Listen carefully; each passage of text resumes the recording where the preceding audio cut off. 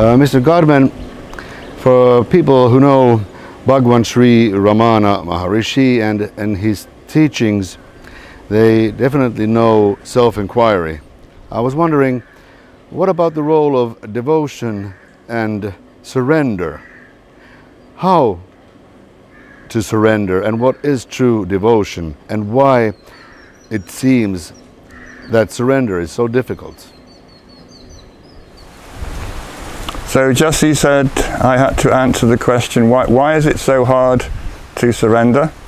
And I would say, why is it so hard to do self-inquiry? Also, somebody once asked Bhagavan, why am I not right now in the state of self? What, what is preventing me from being in that state right now? And his one-line answer, which I really love, is your wandering mind and your perverted ways. So that, that for me is the bottom line as to why we all find it difficult.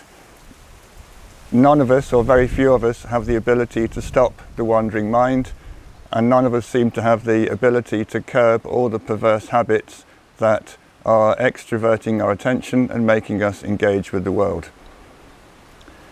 With regard to the how to, um, I think people, people would come and Bhagavan might suggest self-inquiry, and they would try it and they found it too abstract, um, too analytical. It wasn't catering to their inherent devotional instincts and they would feel more of an attraction to a devotional path. So they would ask Bhagavan for permission to do this and he would always grant it. He liked people to do self-inquiry but he realized that it wasn't a one-size-fits-all method and that some people were not temperamentally suited to that. So then he would say, okay, surrender unconditionally to the self. But having said that, he was the first to admit that this is, for the vast majority of people, an absolutely impossible thing to do. You cannot say, God, I surrender to you in one session, in one jump, in one process. Bhagavan accepted this. He said, your notion of I is so embedded so inherently strong, you can't give it up by a desire, by an act of will, or by notionally offering yourself and everything you do to God. So what Bhagavan recommended to one or two people was to have faith that God is running your life and I won't say test him, but prove it to yourself by offering small amounts of all the things that bother you, the things that are going on in your life. He would say, you think that right now you are in charge of your life, that you have to make choices and decisions and that the outcomes of all your activities have to come from the choices that you make. He said that's completely wrong. He said God is running this world. You as an individual person are not even in that world. Your, your choices and your decisions the actions that you perform, all arise from your totally erroneous notion that you are a person who lives inside a body. And once you have come to that conclusion, arrived at that idea of yourself, then automatically you have to defend that notion by defending the body, having ideas about how to protect the body, what plans the body is going to undergo and execute. He said that, that that's all wrong. But you can't give that up as an idea. It's such a deeply rooted, severely entrenched program that you have to convince yourself bit by bit that this is not a valid way of living in the world and it's based on a false premise. So he said, just try, think of something that's going on in your life that's bothering you. Approach your notion of God. It might be me, it might be some idea of the divine, it might be a form, and just say, right now this problem is bothering me, I hereby hand it over to you, you deal with it. And he, he said, then you can't cheat on this. You can't then go back to your normal life, lifestyle and carry on worrying about it. He said, that's like throwing out all your garbage and saying, I've got rid of it, and then when no one is looking, you collect it all up, bring it in your house and throw it all over your living room floor. You said you've, you've got to have that determination, which is quite counterintuitive, that it's not your business anymore, it's not your responsibility. Um, let's say, I don't know, your grandmother is sick and you're worried about your grandmother being sick, you go to Bhagavan, you go to God, and you say, Bhagavan, this idea in my head is bothering me. I have a, a worry, a concern that this is going on. Uh, please take care of it. Please take this thought out of my head. And if you want to cure Granny, that's a bonus. But I, I don't want to have this thought bothering me anymore. Then you go back to living your life. And it's not going to work if five minutes later you start worrying about Granny again. You have to make this determined effort once you've handed over this little parcel of your worries and your concerns to say, I've put that out in the garbage can in the yard, it's not coming back in my house again. And he said, if you can do this with small details of your life, quite amazingly, you'll find that they resolve themselves better than if you yourself had decided, I'm in charge of this situation, I'm going to hire the best doctors, I'm going to get her treatment, I'm going to visit her every day. Just the simple act of handing over this story to the higher power and dropping it from all the things that go on in your mind that would normally worry about these things. He said, just handing over one simple story and waiting and saying, I have given it to you. More often than not, something quite unexpected will happen. You'll get a good result out of it. And then you'll think to yourself, well, that worked. I'm going to try a slightly bigger story. So, so bit by bit, you start unloading all your problems, all your concerns, all your ideas. Then it's not always going to work. After you've done that for some time and you start to do your mental accounts, then you come to the conclusion that handing over these problems to Bhagavan has a higher percentage success rate than me trying to solve them myself. So he said, you establish the faith, the conviction that God can look after all these problems, all these concerns better than I can. You find that out empirically by forcing yourself to hand them over to this higher power, standing back and waiting for events to unfold. And the more often you succeed, or the more often you get good results from doing this, the more often you feel inclined to say, well, that solves that problem. What's the next biggie kind of what's the next biggie in my life, I will try and hand that one over as well. So it's a kind of salami approach. You can't throw the whole sausage at God and say, take it, I'm finished. You, you take the first slice off and you say, here, have a taste, and it works. And so you chop off two centimeters the next time and you throw it. And bit, bit by bit, you manage to hand over virtually all of your concerns about the way you run your life because you get proof that the surrender is working simply by the feedback that comes from having these problems resolve themselves. I have found this out from my own experience and Bhagavan said this, this is a very good way of convincing yourself that handing things over piece by piece is a good and valid way of eliminating this idea that there's a person inside your body who is responsible for, responsible for all these things and who, has to take decisions to get the right outcome. The, the analogy I like is um, the younger people need this explained to them. 50 years ago, telephone exchanges had women inside them who took plugs out of one socket and made connections in the next socket, and that's how you got your phones connected. These all got superseded by automatic exchanges, where if you dialed the right number, there was no middleman, there was no intermediary. The call went through the right circuit in the exchange, and the right person got the call. What we are doing is pretending that we are in charge of a kind of telephone exchange inside our head, which needs our intervention to make things happen well. In fact, what we're doing is pulling out random plugs in there, sticking them in the wrong holes and getting bad results. We, we, need, we need to know and understand that Ishwara, God, is looking after the world and that anything that we do is simply going to get in his way. We, we're the person who ignorantly is running around the inside of this fictional telephone exchange, messing up with the wiring of Ishwara's world and trying to do a better job of running it. And the more we can hand we, the more we can step back and come to the conviction, the conclusion that all this is humming along quite nicely and it doesn't need my intervention, the more smoothly your life will go. And finally, you'll just learn to understand the whole thing works by itself. It doesn't need my intervention. God is running this to the best possible outcome, I will stay.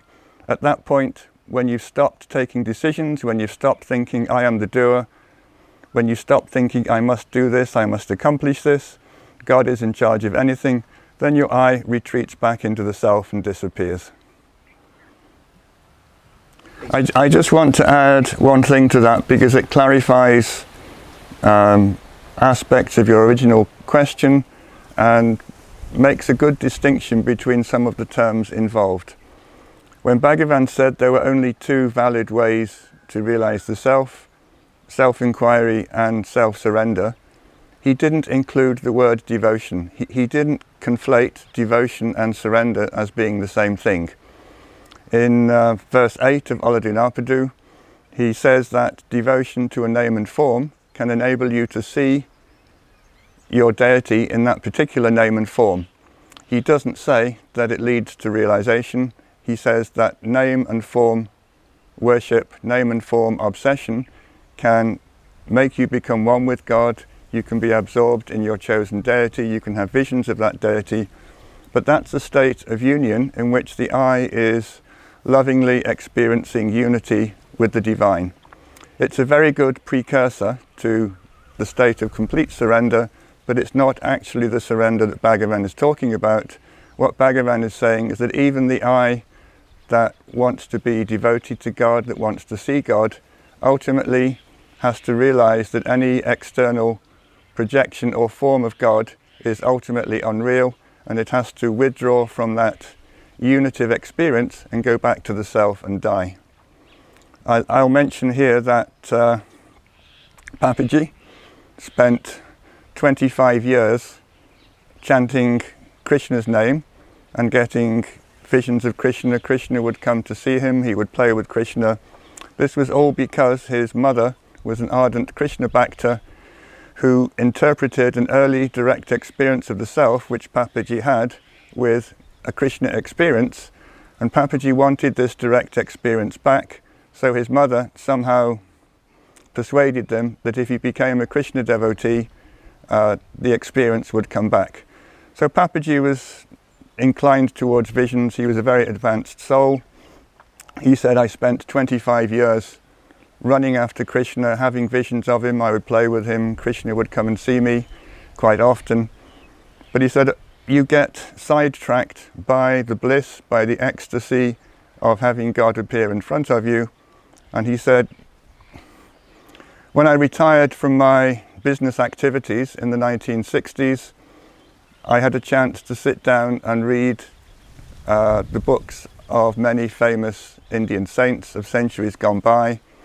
And he said, I, I noted in almost all of their writings that a point would come where after a long period of communing with the divine, of playing with God, of being blissed out or ecstatically experiencing God, they realized that they had to give it up and go on to the formless. And he, he said he was reading Tukaram, he was reading uh, Mirabai, and he said you can always find the verse when somewhat begrudgingly they come to the conclusion that playing with God was great, that being absorbed in his bliss and his presence was great, but somehow it wasn't the end. To some extent, it was actually a distraction, it was a diversion. He says you can get drunk on the bliss, you can get lost in the bliss, but your I is always going to be there saying more, more, more, I want more bliss, I want more ecstasy. Your craving for the ecstasy of divine union, he said, that, that in many cases is your last obstacle. You have to reach a point where your love for God is no longer extroverted into a desire to see a form, it has to go back to the God within yourself. He said, in my case, it took me 25 years, and it was only sitting with Bhagavan who told me that any God who appears in front of me is not real, that God is within me as my own self. He said, I didn't like that message when Bhagavan first told it to me. In fact, I liked it so little, I went back to Chennai and didn't come again for a while. But he said that, that was good advice. That ultimately was what put me back in the self. He said, I had this experience of the self when I was a very young boy. Then I spent 25 years running after an external form of God, being intensely devoted to it, but finally, finally, in the presence of Bhagavan, through his power, through his grace, Bhagavan showed me the truth of my own self. And he said that truth, implicit in that truth, is the knowledge and the understanding that there is nothing outside of that self that needs to be looked for or sought or experienced. He said that's what Bhagavan did for me. He pushed me back into the self and established me there with such force and conviction I no longer had the desire to look for anything outside of that self again. So he said this is a kind of trap that he, he fell into for decades. He said reading the famous Bhakti saints of India, he said they all to some extent experienced that same uh, devotional traje trajectory. They had decades of yearning to see God, be with God, and finally they just realized, no, that's not the end point. I need to go back to the, the silence and the stillness of the self and stay there. One of the aspects of the first question I was asked was, what are the problems uh, that come up on the spiritual path? And then we got on to talking about love, devotion and surrender and I think I can answer, or at least give a rather graphic presentation of how difficult it might be by retelling the story of Mathru Sri Sarada, who was the devotee of Lakshmana Swami. Lakshmana Swami realized the self with Bhagavan in 1949 and then went back to his hometown and about 25 years later a young girl came to see him and she fell in love with him, did a very arduous uh, period of sadhana with him and finally realized herself almost exclusively through the practice of name and form meditation on her guru. So I think she's a really good case study on how everything needs to be lined up. It's almost like a, an absolutely uh, amazing astrological configuration. So many things have to be right in order to succeed on this particular path. And it was her destiny, her good fortune, that they were lined up, but she also put in an absolutely enormous amount of work. So I want to tell her story simply to illustrate that name and form devotion is not an easy option. Uh, people who think that they can't do self-inquiry. Either they try, it, they don't understand it, or it's too hard, or they're not making any progress. They think, well, I'll do name and form meditation, I'll worship my God, I'll do my japa, I'll say my mantras, because that's something concrete they can grasp. And because it is easier to grasp conceptually, I think some people have the idea that it might be easier to succeed simply because the initial grasp of the subject uh, is better. Uh, I'm going to be a party pooper here and probably spoil a lot of people's illusions about just how hard it is to get to self-realization, not just through self-inquiry, but also through the path of love, devotion and surrender. Saradamma uh, came to Lakshmana Swami in Andhra Pradesh in 1975. She was a girl, uh, daughter of one of the old school friends of Lakshmana Swami. Lakshmana Swami didn't notice her on the first visit, but then he spotted her and he knew that she was going to come and see him. He had uh, had some sort of vision or understanding from several decades before that this young girl would come to see him, that she would be an extraordinarily advanced devotee, that she would take him as her guru, and that she would in fact realize the self through his power and in his presence. He had no idea when she was going to come and from the first intimation he got that she was on her way, I think it took another 25 years before she physically showed up. I was talking to him once about her and I said, what impressed you about her? Of all the thousands of people that have come to see you, what made you take this girl to be the one person who could finally realize the self. And he said, I searched her mind again and again and again. I looked really long and hard at it and I couldn't find a single bad thought anywhere. Uh, and I thought, well, that's going to disqualify just about everybody I know on the spiritual path. Who, who, who in this world can present themselves to a jnani have their mind be a completely open book, have him search every single page of it, and not come up with any impurity, anything which would act as an impediment to realizing the self. So, first of all, he did his initial search. He looked at this girl's mind and recognized an immaculate purity. Now, he said that after seeing her for some time, he recognized her as being a woman who had served him in his previous life when he was a yogi. Uh, she had been a relatively poor lady who used to make dosas, bring them to him and serve him.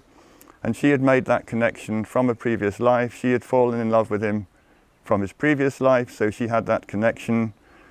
Then she came to him in a state of, there was obviously a very strong bond, a strong connection between them. And Lakshmana Swami surprised me one day when we were talking about her by saying, the self commanded me to grant her liberation. Now that this seemed like an extraordinary statement at the time. So I, I said, how? Did you hear a message? I mean, how, how did the, the order come? And he said, no, no, it wasn't somebody conveying this one person to another. There was, there was a knowledge inside of myself that it was my duty, my, responsi- my, my responsibility to grant this girl liberation. He said, I knew that was my duty, my responsibility. So here we have an awful lot of things lining up in her favor. She had a past life connection with him. She obviously loved him from a previous life. She came to him when she was very young, immediately fell in love with him.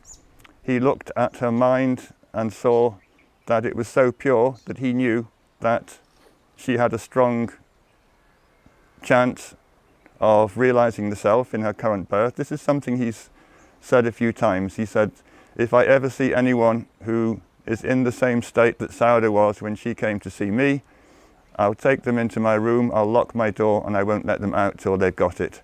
But until I meet such a person, I'm not going to see people publicly.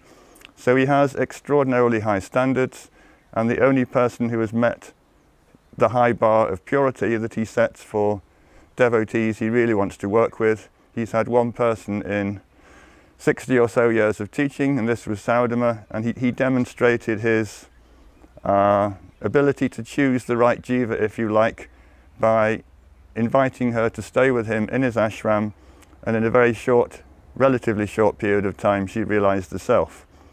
So everything is going in her favor, but she also had to put in an incredible amount of work on her practice. She took him as her guru, surrendered to him, and began to chant his name, uh, Hare Lakshmana, Hare Lakshmana, and also to focus on pictures of him. So her inclination was to worship and surrender the form of her guru. Lakshmana Swami hadn't really come across someone like this before and his own experience of doing inquiry had somehow convinced him that self-inquiry was the way that everybody had to do their sadhana if they wanted to succeed. So he kept trying to tell her to also do self-inquiry, which she had zero interest in doing. She said occasionally I would pretend I'd sit in the corner and pretend I was doing inquiry, but he knew I wasn't doing it, I knew I wasn't doing it, we both knew I wasn't doing it. I was just carrying on with my name and form devotion.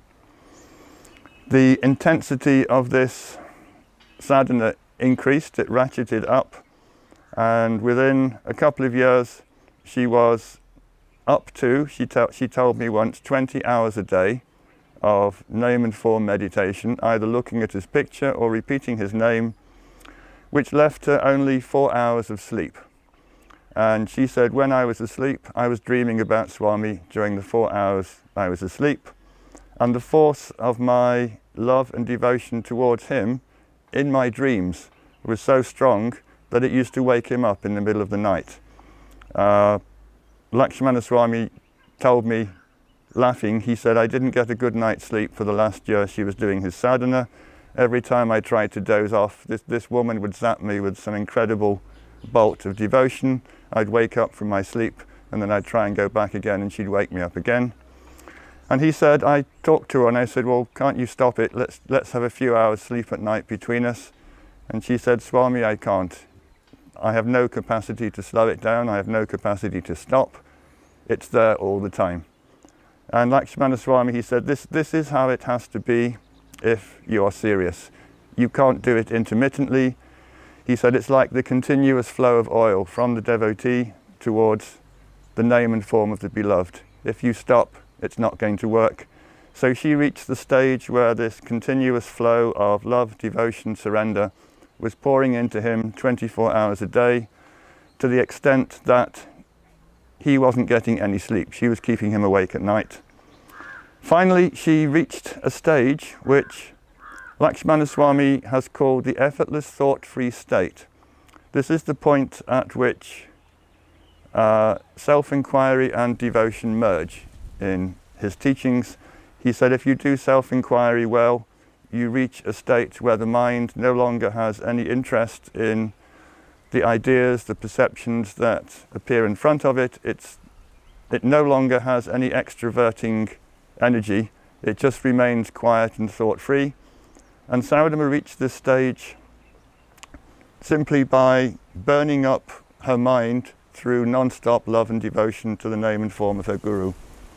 So she reached this effortless thought-free state, at which point she started to go into regular and deep samadhi. She, she said, I reached the stage where I couldn't say Swami's name anymore. There was nothing inside me that could even extrovert to say his name or feel anything, any projection of energy towards an image.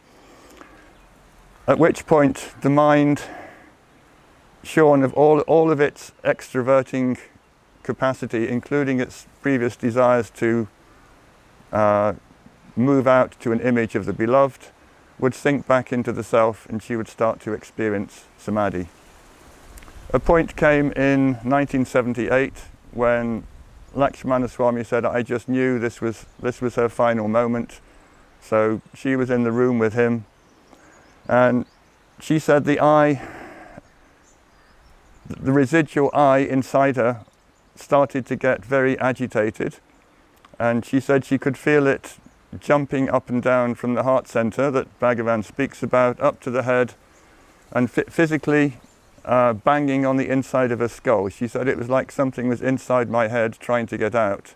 It was banging away on the inside and she got the feeling that if it succeeded it would actually break open her skull. It, she said it was the most excruciating pain she went up to Lakshmana Swami uh, a couple of times, took his hand, put it on her head to alleviate the pain. The, I thought the mind went back a little bit, but then it would start getting agitated and jump up again. And finally she went up to him and put her head on his feet and the, the power in the Guru's feet uh, was enough. The I went back into the heart and it died there and she attained self-realization in his presence. Now look, look at all the things that had to be lined up for this girl to do this. She needed a strong past life connection with her guru. She needed to be born in the same town as him. She needed to go there as a young girl. She needed to fall madly in love with him. She needed to be with a guru who had this immense power to purify the mind and ultimately extinguish it all of these things lined up and in the end she succeeded. So what I'm trying to say is that don't expect to get liberation, get enlightened if you have your meditation, your spiritual practice as a hobby. Uh, it's intense, non-stop. It, it has to consume all of your interests, all of your desires. Nothing else has to get a look in. And finally, finally, finally, if you're really lucky, you'll be brought into the presence of someone who can look at your residual I, who can make it go back to its source and destroy it there. I talked to Papaji about the japa that he did when he was a sadhak, and we had a general discussion on it, out of which came some quite startling uh, side stories the good thing about Papaji was what, wherever you started, it always reminded him of something else. And he always ended up telling very entertaining stories that possibly were thematically linked to where you started, but as often as not were a completely new topic. So we gravitated from the general topic of japa to a period in his life in 1947 when he was living and working in Chennai and this was I think in the few months prior to Indian independence. The issue of the partition of India had divided the Congress party. Uh, Gandhi was utterly opposed to it and he had been sidelined by the mainstream Congress politicians. So he was no longer actively engaged in politics, but he was still conducting prayer meetings in Chennai, uh, I think in, in, the Thousand Lights district. Papaji heard about this and he went to see Gandhi. He was, he was an admirer of Gandhi's spiritual state, not necessarily his politics. Papaji was more of a militant. He thought the British should be thrown out, thrown out by force. Gandhi, Gandhi wanted to do it by non-violence, but he, he respected and admired Gandhi's spiritual state. So he attended these prayer meetings in Chennai in 1947. And because Gandhi was so isolated at this point, uh, he wasn't even uh, protected from the people who wanted to see him. So Papaji somehow ended up being his uh, bodyguard and minder. Papaji in the 1940s had a very strong, imposing figure. He told me that when he travelled around India, he used to keep himself in shape by going to all the wrestling places in all the towns he worked, taking on all comers and usually beating them. So Gandhi got a wrestler Papaji to act as his bodyguard. And that there's one fun story that Papaji told me that once uh, one devotee who attended the prayer meeting ran off with one of Papaji's, uh, ran off with one of Gandhi's sandals. Papaji chased him down the street but wasn't able to catch him. Came back and Gandhi said, oh, never, never mind, one is enough for me, which I, I thought was a very Gandhian comment. And I, I, suspect Gandhi spent the next day limping around with one chappal on and one missing. But Papaji said he also had the opportunity to sit privately with Gandhi. And he said, one day I was sitting there and I could hear the sound of Ram in a very subtle way. And he looked around, he said, there was nobody else there with us. I looked at Gandhi's lips. My first thought was, he's a Ram that's his mantra. He must be saying it in a, uh, a kind of ventriloquist way, maybe muttering it under his breath. And he said, no, his, his lips were not moving and the sound wasn't coming out of his mouth. He said, and then, then I focused my spiritual radar, if you like, and I realized that the sound was actually emanating from Gandhi's body.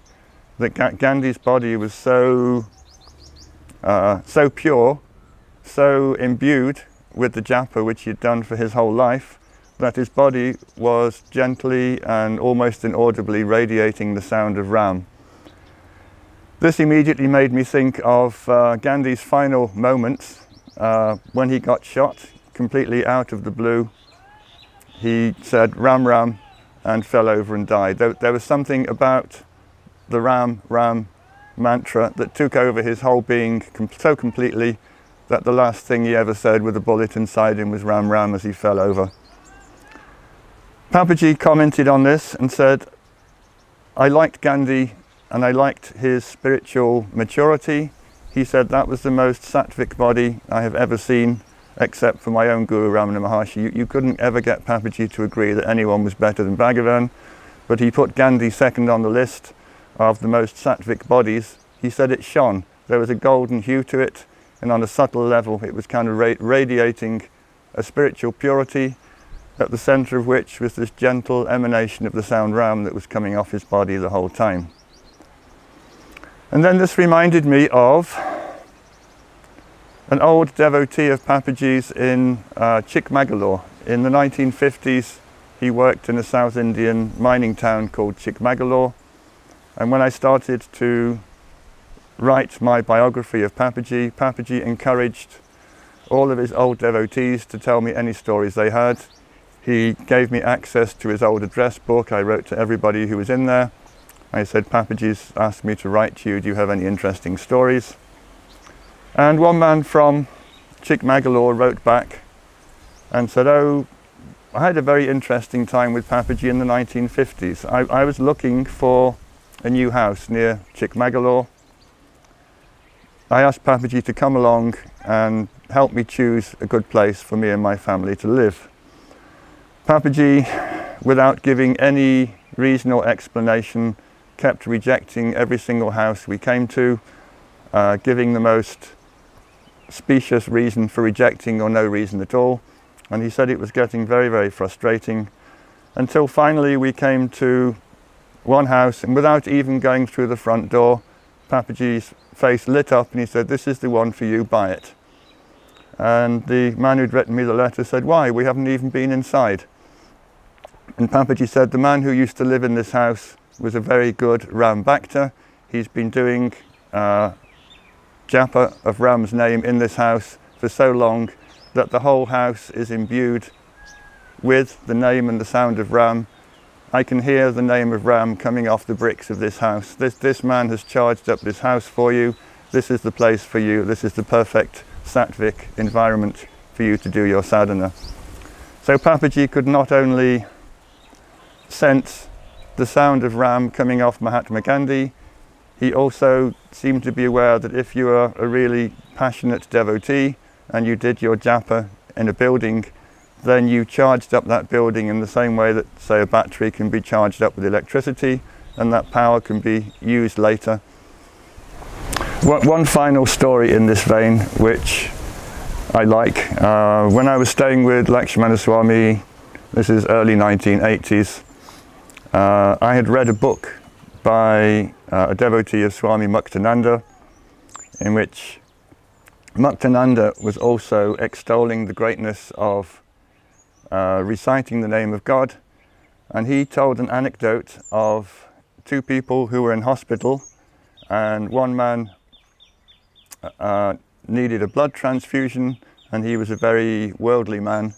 And the person in the next bed happened to be the right blood group so they took uh, half a litre or a litre of blood from the, the Swami who was next to him, put it in the man while he was unconscious, and as the worldly, as the worldly person opened his eyes, he apparently started going ram, ram, ram. The blood, the, the blood inside him temporarily turned him into a ram devotee. It didn't last very long. Just, just for a few seconds before he regained full consciousness, he started saying ram, ram, ram. So I thought this was a fun story. I told, I told Lakshmana Swami, I, I, showed him the bit in the book where I'd read it, and he wasn't at all convinced. He, he just laughed and he said, Well, if that's true, then all the mosquitoes in this ashram must be enlightened.